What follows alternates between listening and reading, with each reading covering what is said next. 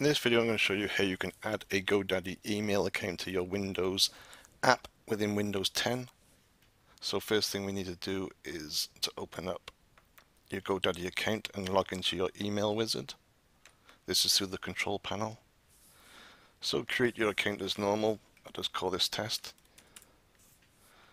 Then add a password.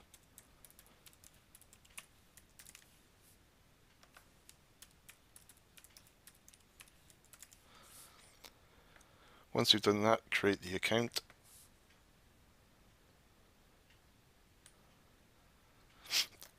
Then you want to select Windows Live for this. Just click on that.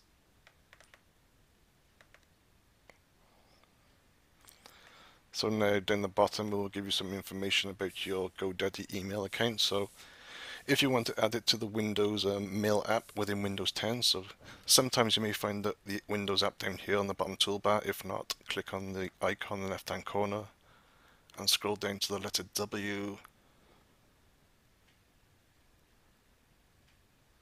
M, sorry, not W. Select Mail.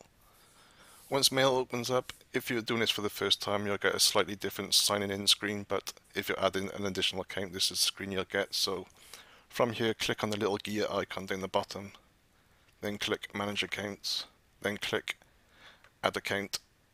Then you want to select um, Other Account Pop.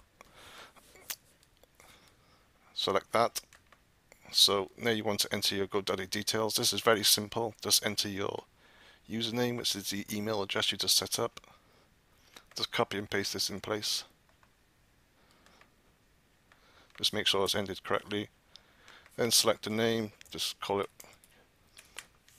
whatever you want. Then select um, enter your password. Then simply click sign in.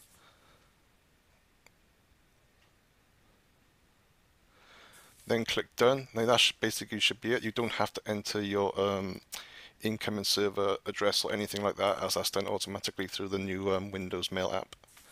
So just to make sure your app's working correctly, what you want to do is create a new email and just send it to yourself. So